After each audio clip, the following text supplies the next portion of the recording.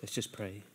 Father, we thank you, Lord, for that amazing story, our history.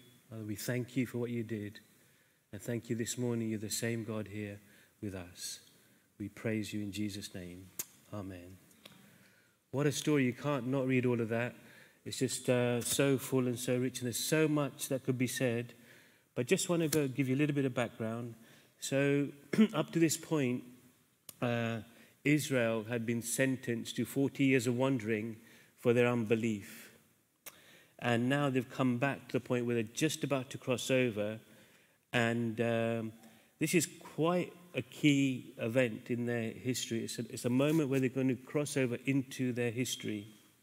The crossing of the history was, uh, as it were, uh, absolutely pivotal in what God is going to do next. Just as the Red Sea crossing changed Israel standing from slavery to freedom, passing through the Jordan into the promised land would transform this nation from a wandering horde into an established nation. The Red Sea, as to say, it, we see that Christ died for you and for me, and in him we died. But the Jordan what that represents is because he died, we are now able to overcome the sin that will entangle us, that will take us away from God. We no longer have to let sin reign in our mortal bodies. That's the parallel that this story that brings us. The purpose of the Jordan is to emphasize the fullness of Christ. It's a parallel. We've been talking about pictures from the Old Testament that carry over into New. This is a picture thousands of years before Jesus came, of how God would work in us. However, there's a, a barrier that lay in front of these uh, Israelites. They're standing there, and there's a small matter of a, a river to cross. Normally, it wouldn't really present much of a problem because about 100 foot. Even then, you know, with children, old people, cattle, and all that, it's an issue. But normally, it's not such an issue. But, you know, God likes to do things in His own way. It's a little problem, but He makes it bigger as I think uh, a couple of weeks ago Simon was saying, is pour on the water. You know, when Elijah was doing the sacrifice, pour on the water, pour on the water. And so the Lord decides to come when it's harvest time, uh, bring the people there. And uh, it says it's in flood, it bursts its banks, and rather than being 100 foot, it's actually 50 times bigger in those days. The Jordan's changed quite significantly now, but in those days it was 50 times bigger than it would normally be. And it needed something supernatural, something beyond themselves, so no one could boast that we've done this just on our own. That's how God works in our lives. Everything He does, He does, so that none of us can boast. I wonder what kind of Jordans you're facing today. There's things that lie ahead and it needs a supernatural intervention. It is God's hand to be at working on it. This, this story, we can learn a lot in terms of how we can uh, come to God in what He did and go out in faith and looking to Him. It's been 3,000 years since this event, but God hasn't changed. If you go away with nothing else, remember God has not changed. The same God who helped the Israelites through the Jordan that He is today. Just going back to the story a little bit. So, in order to overcome this uh, uh, huge obstacle that was in the way, the first thing it needed was uh, what, it, what it involved was a challenge. And this is what it says from verse 3 of Joshua 3. This is Joshua speaking. It says, When you see the ark of the covenant of the Lord your God and the Levitical priests carrying it, you are to move out from your positions and follow it. Then you will know which way to go, since you have never been this way before. Clive was saying earlier about not knowing what the future holds and which direction to take. But keep a distance of about 2,000 cubits uh, between you and the ark. Do not go near it. So there's three things there, just a short bit. One is watch God, the next is follow God, and the third one is honor God. Okay? So, you know, when the ark, which is, I think there's a photo up there somewhere. I, this is one of the images I got online. So maybe not that extravagantly dressed, the people, but I'm sure they were very smartly dressed when they, when they approached that. The next one is a bit of a better image. This is what it's probably more looked like because it had the covering that surrounded the Holy of Holies where the ark was kept. If you want to know more, look back in the first few books of the Old Testament and you'll see the details of that, what the, what the tabernacle was, what the, what the area of the holy place was, where the Holy of Holies was, where the uh, Ark of the Covenant was kept. It only had three things in it. It had the Ten Commandments on stone that was in there. It also had the manna in there, and it's also had the there's a bud there's a there's a rod that uh, Aaron had which budded, and uh, just just spontaneously, uh, and, it, and it represented the presence and the power of God, and that that uh, essentially a box, which represented God's presence, to were to they were to uh, when they saw that they were to to follow that. You know, when we, when we want God to work in our lives, I don't know what you do. Uh, whether, we, whether we watch out for what God is doing or do we just do our own thing. Know, I would, I would encourage you in every situation when you want direction, don't just turn to your own experience and your, and your, and your own skills to God in that. The next thing that was to follow God. It says there, you, you are to move from your positions when you, when you see the ark. Not only are to watch, watch what God is doing, then you've got to listen. You know, it would have been no good if, if God had come to Abraham all those years ago and said, Go to this place. And, you know, Abraham says, Great, I've heard from God. You know, it's really good. I'm so excited. And you go around telling people I've heard from God. But he just stayed where he was. We have to move in what God is doing and then do that in faith. You know, for Israel, it wouldn't have been an easy thing. There's a mile long uh, a river to cross. You know, you know, Joshua, who was the leader of that nation, nation now, was a humble man, and he learned that from his uh, mentor Moses. He understood he couldn't accomplish anything on his own, not such a task as this. And he didn't do that on his own. He looked to God and sought his will. The third thing that this, these verses tell us is that we are to honor God. You noticed uh, what Joshua says you're to keep a distance of about 3,000 cubits. Uh, that's about half a mile in modern money, and that's the distance we're to keep. And everyone, everyone was to stay that far. Now, I don't know all the reasons that God said, but a couple of suggestions. One, one is that you know, if there's, a, there's a, a couple of million people following a thing, you know, if you're, if you're too crowded, no one can probably see it apart from the first few. So keep it about half a mile, then the crowds behind can actually see it going. And the other, which is probably as significant, is that box is a holy thing. It's a holy thing that God had, that God had got uh, made, which represented His presence. And when it was in His position, the Holy of Holies, if anyone but the high priest once a year went in there, in the right kind of way, they would be, they'd be killed. Uh, what that tells me is that, you know, when we approach God, we need to approach Him with reverence. Let me just tell you, just, you might be upset by this, but He's not your buddy, okay? He's God in heaven. You know, we have, we have to be in awe of Him. You know, we have to see who He is. And you'll, we'll see that a little bit more as we look at the words, of, words that uh, Joshua uses. You know, regardless of how much you know God, how much time you spend with Him, He's holy God. And we're to keep that reverence for Him in our hearts. And it's something to pray about uh, if, we, if, we, if we've lost that a bit.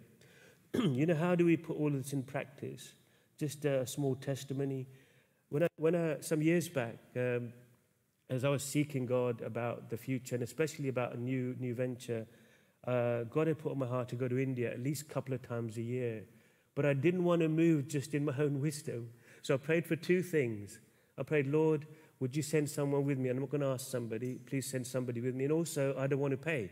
I want to go free. So I started to pray. I started to pray. And just within a few weeks, a friend of mine who sort of went every now and then, I was actually praying he'd be the one that I'll go with. He said, Oh, him. You, you fancy going to India? I said, Oh, I do. And he said, Okay uh, I'll get my dad to arrange the ticket. I said, okay. He wasn't saying going to pay for it. He said, I'll get my dad to arrange it. I said, all right. So the first thing that happened, and then I just, that encouraged me to trust the Lord for the second one. As I waited, it was several months ahead that I was due to go. Again, I've never asked anyone for money, uh, unless it's a tenner of Clive and then I don't pay it back or something. But uh, uh, is, is that um, some three individuals just gave me money, and on I didn't know what the price was going to be. That three, those three tickets amounted exactly the money that was charged for that ticket. So I was really quite confident God was with me in it, and He led me and, used that time, and I've been going ever since, uh, except during COVID, every couple of years. So that was, it involved a challenge. They were to look for God, they were to follow God, and to reverence God. The next thing that involved was a command. Joshua says to them in, in the next verse, says, Joshua told the people, consecrate yourselves for tomorrow the Lord will do amazing things among you. Uh, who here this morning wants God to do amazing things in their lives? don't have to put your hands up. Put your hands up if, you don't. No, no, no. You want, you know what? We want God always to do amazing things. You want that. This is, this is the next thing that God says sanctify yourselves. Now, what does that mean? It's another word for holiness. You know, we've been singing, Holy, Holy, Holy. Our God is holy. He's different, isn't He? You know, we just cannot imagine how beautiful He is, how loving He is, how kind, and it's just totally beyond our imagination. But we see, we see everything that God was in Jesus. All that Jesus was, He was. And God wants us to be like that. And He's saying to these people, not that they're going to achieve it by tomorrow, for them, all that meant was having a bath and putting on washed clothes and being ready for the next day and abstaining from uh, sexual relationships. That's what that, meant to them in those days. But what this means is to be set apart, and it carries this meaning of leave sin behind. Not just that, but also then to be set apart to serve God. We want to go God's way. To be sanctified is to be set apart for God's purpose. If you want to see amazing things tomorrow, sanctify yourselves today. And this is, this is what a, a great man of God in the past said about, about his life. There's a day when I died. And as he, this is what this is a description that somebody watched as he spoke about this. As he spoke, he bent lower until almost touched the floor. Continuing, he added, Die to George Muller, his opinions, preferences, tastes, and will. Die to the world, its approval or censor. Die to the approval or blame, even from my brethren or friends. And since I have studied only to show myself approved to God, that's what we want. That's what it means to be set apart. We don't, doesn't matter what other people think of us, but what we want is what God thinks of us. We want to set ourselves apart. You know, if they if they were to expect to pass the Jordan, they had to set themselves apart and follow what, what God was asking of, the, of them. You know, this morning you may think, well, I don't even know this God. What does all that mean? To be sanctified in that sense is to repent to the things you've done. You know, everyone in this room, including myself, we've done much wrong and sadly continue to do wrong. We just can't help it. But there's God out there who wants to forgive us. He's a holy God.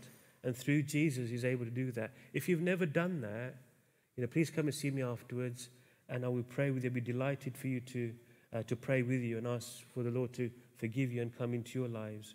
For those of us that are believers, it means that we need to pursue him, to set apart God as our target and only aim. Remember, no matter what situation, there's forgiveness in confessing our sins to the Lord. So it involved a challenge, it involved a, it involved a message. Verses 9 through down to 13, it says this Joshua said to the Israelites, Come here and listen to the words the Lord your God. This is how you will know that the living God is among you, and that he will certainly drive out before you the Canaanites, the Hittites, the Hivites, the Perizzites, the Girgashites, the Amorites, and the Jebusites. There were seven big, powerful nations ahead. Since uh, see the ark of the covenant of the Lord, your Lord of all the earth. I'll turn something on here. yeah, uh, will go into the Jordan ahead of you. Now then, choose twelve men from the tribes of Israel, one from each tribe. And as soon as the priests who carry the ark of the Lord, the Lord of all the earth, set the foot set foot in the Jordan, its waters flowing downstream will be cut off and stand up in a heap. Uh, incredible words in just those. You know, there's so much in there, just some things to notice for us. Joshua, even though he was the leader, he didn't come up and say, Listen to what I'm saying. He say, Listen to what God is saying here. God had promised that as soon as, soon as uh, the, the Levites begin to walk, this is what's going to happen. Uh, God, God had already said to him, I'm going to lift you up in the presence of these people today. I'm going to make you, make you uh, uh, have higher esteem like Moses had, and people are not going to look at you again after today. But he wasn't worried about that. And he says, Come listen the words of the Lord your God is saying. And this word is amazing. It says, This is how will you know you will know that the living God is among you. How do we know this morning the living God is among us? You know, we, we live in an area where many false gods are worshipped. You know, people out there worshipping statues. They have eyes that can't see, ears that can't hear, mouths that can't speak, feet that can't walk. In fact, they need to be carried. You know, we have a living God. The living God was with them. The living God was with them, and He was among them. He will not fail you, Joshua said. He will certainly drive out before you the Canaanites you know, what an encouragement. They're going to do an amazing things going to happen. There's challenges that lie ahead. There's so much that God is going to do. But he's saying, I'm going to do it. I'm the living God. And he uses these words in there. He says, the Lord of all the earth. You know, that's the God that we worship. It's the holy God that we worship. He's the Lord of all the earth. Not just that tiny little bit, the whole earth. His plan was to get them over, and it was his problem, is what he's saying. You know, for us, uh, whatever plans God has, and if we're walking in them and walking with Him in them, it's His problems problem to help us through that. All we, all that's required of Israel then and for us today is to trust Him, to trust Him in that. God hasn't changed. He's not changed. And this message is one that we should take to heart. Whatever He's promised, He will do. And without Him, we can do nothing. You know, we often talk about this building, and you know, this, this actually passage reminds you that we've got to remember things that God has done. 2017, we got the building finally, but you know, we started praying on the 23rd of November 2009. It took, it took eight years. We prayed. Clive prayed every day. I prayed sometimes in the week. Yeah? But I would park out there and I'd say, Lord, how on earth are we going to do this place up? I used to pick Vashi up from her work. Just say, how on earth are we going to get this done? Where will all the money come from? You should pray that, Lord, how are you going to do it? And then, although I was confident God was going to do it, there were doubts would creep in. And one day I was walking out through the back door, uh, through the back entrance of the old building, and the Lord did something in me, and there was like a, such an assurance that something had changed that in, in me, for me. God did something. And another thing that really helped me, if he, sat back there, uh, 2015, through the cafe, Don got saved. And that also really firmed up something in my heart. God put a marker down that day for me. And uh, God does things, you know, as we follow Him. And, and in the journey that we have, God does things and He will not let us down, but we need to trust Him as we walk with Him. The next thing it would take a miracle. It took a miracle. Verse 14. So when the people broke camp to cross the Jordan, the priests carrying the Ark of the Covenant went ahead. Now the Jordan is, is, in, is at flood. Now the Jordan is at flood stage all during harvest. Yet as soon as the priests who carried the ark reached the Jordan and their feet touched the water's edge, the water from upstream stopped flowing. It piled up in a heap at a great distance away at a town called Adam in the vicinity of Zarethan, while the water flowing down to the Sea of Arabah, that is the Dead Sea, was completely cut off. So the people crossed over opposite Jericho. The priests carried the ark of the covenant. The Lord uh, stopped in the middle of the Jordan, and stood on dry ground while all the Israel passed by until the whole nation had completed the crossing on dry ground. Uh, I, I wish I could have seen that. You know, it was, it was about 20 miles down the road from where they were crossing. But imagine a pile of water just, just, just, just collecting. Uh, you know, while I was looking and studying this, there have been some natural phenomena that have made that done. That God could have used that. Similar thing. There's some. The latest one was in 20, uh, 1927. An earthquake made it happen, and that and that that's that flow of water lasted 21 hours. I don't know what God did, how He did it, but He did it. But you know, when you when you read the Bible and you believe it, then nothing is impossible to our God. He's the God of the whole earth. Verse 1 tells you made the heavens and the earth. So what is a little stream? What is a river? Nicola just gone, just touched it. That's it. Just stop. That's our God. That's the God that we worship. 20 miles up, plenty of space for a couple of million people to pass by and however long it took. You know, the only thing I feel sorry for is those Levites. They were holding that ark. It, it wasn't as big as the first photos. It's still a heavy object. I don't know whether they had shifts, whether different lifts uh, came in. I just trying to picture how they would have done that. Held that box in that position while all those people, people passed by. But anyway, coming back to the story, it was going to take a miracle. And a very, very basic ingredient we need for a miracle in our lives is obedience. You know what we see in this bit of reading? The people were obedient. They followed what Joshua had said. The priests were obedient. They were the ones that were going to go ahead. They're the ones that had to put their foot in that water. You know, in the last, when Jesus, or when Moses divided the sea, he just had to put a rod in it. Now they were to put a foot in it. So it was something different they had to do, but they were obedient. And, and so to speak, God was obedient to his own word. As soon as the soles of the feet dipped in the water, God stopped the flow. And the priests stood on dry ground, and their water just stopped there and it piled up.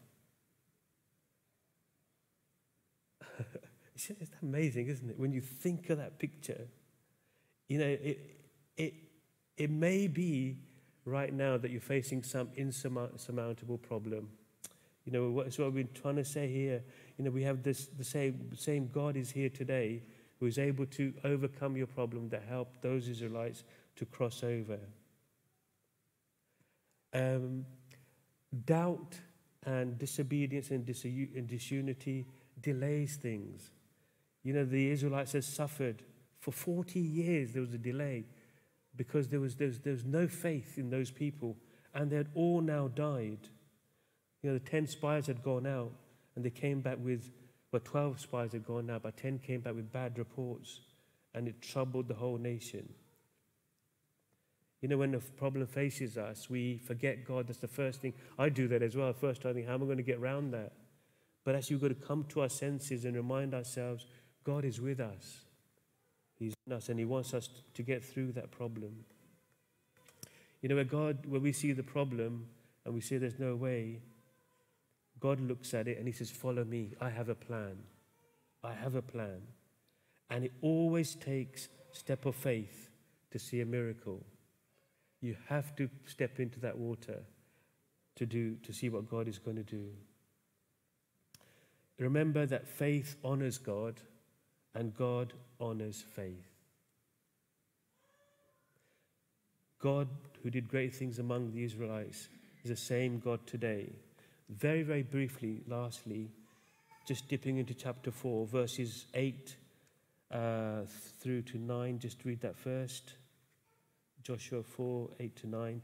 So the Israelites did as Joshua commanded them. They took 12 stones from the middle of the Jordan according to the number of tribes of the Israelites, as the Lord had commanded Joshua, and they carried them over with them to their camp, where they put them down. Joshua set up 12 stones that had been in the middle of the Jordan at the spot where the priests who carried the ark of the covenant had stood, and they are there till this day. So there's it needed a memorial, it needed two memorials. God had only asked Joshua to get the people to do one, and I'm not sure why he did it, but he decided to do two. One was to take 12 stones out. You know, you know when you see memorials around in places, they're quite grand, aren't they? Look around the world, what memorials people have built. God just, just says, get up some rocks, bring those out. No, it's not the memorial that counts, it's what it represents. They would take those stones out. And uh, what that meant to them, I'll just go through that in a moment. But the first thing, the other thing is, Joshua also, just over, it seemed like because of his own accord, he goes into the Jordan and it looks like he did it himself. He put a memorial there himself. He was one of the two that had gone into the promised land 40 years earlier. Maybe he's about 60 plus now, maybe 60, 70 years old, something like that. But he'd seen that. Maybe he's saying, the, old, the past is now buried. It's gone. You know, thank God that is over. Now we're going into the new. Maybe, I, don't know, but he did that uh, of, him, of his own volition. And this is what it says a little bit further down, verse 21, as to why God had wanted the other one. He said to the Israelites, In the future, when your descendants ask their parents, What do these stones mean? Tell them, Israel crossed the Jordan on dry ground. For the Lord your God dried up the Jordan before you until you had crossed over. The Lord your God did to the Jordan what he had done to the Red Sea when he dried it up before you until you'd crossed over. He did this so that all the peoples of the earth might know that the hand of the Lord is powerful, and, and so that you might always fear the Lord your God. You know, this morning, as we were praying before the meeting, someone just prayed, Lord, help us to write new stories. You know, this was a story that is, as I said, 3,000 years old. We're reading it today, we're learning from it, but there's stories in this room. You know, what are there things that you can look back on and see what God has done? We're to share those stories. We're to talk about, not, not because you're so great, but it's because our God is so great. Our God is good. He's done things in our lives individually. We have a story together over 40 years this year in what God has done. And we're to share that. We're to be proud, not, not of ourselves, but we're proud of our God. He is to be honored. He's not changed. And especially those stories that we told our children.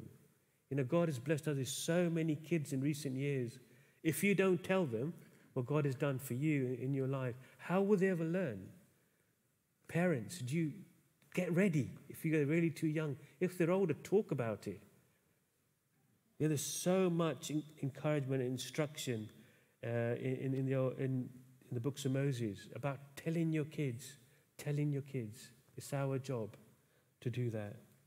You know, this morning as we finish, there may be some Jordan that you're facing, some huge problem that you just don't know what to do with. It may be just thoughts about the year ahead, as Clive was saying earlier want to commit that to God. You know which way to go. But we know a God who has good plans for your lives, which He created when? Before the world was made, before the Jordan was made, before we were speck in our mum and dad's eyes, or whatever you want to call it. Oh, it's a speck or whatever that is. Um, you know, whatever twinkle. Um, whatever it was, God had plans for you. There's things that He's made just for you to do, and no one else can do them like you he wants us to find those out. You know, maybe you need prayer. There's be a prayer team in a moment. Do come forward. But just this promise from Isaiah as well. It says, When you pass through the waters, I will be with you. And when you pass through the rivers, they will not sweep over you. When you walk through the fire, you will not be burned. The flames will not set you ablaze. Our God is good. He will keep us through no matter what trouble and then help us through. Let's just pray. Father, thank you this morning. Lord, you're good. Lord, you haven't changed. You're a God of miracles. But when we cooperate in unity, when we are obedient to your word, Lord, you do things that we just cannot imagine. Father, thank you for the history you've given us as a church. Lord, what a thing that you've done. We give glory to you this morning. And Lord, as we look forward, Lord, whatever holds, whatever's ahead, we walk with you, Lord. We're not afraid because you're with us, Lord. Father, when we see challenges, Father, thank you that you have a plan. Lord, help us not to have our own plans, but things that require miracles, things that require things that we just cannot manage on our own. Lord, we just pray this morning that ours will be on you. We will look for God, that we will follow Him. We will honor you this morning. In Jesus' name, Amen. For prayer later on if you need it.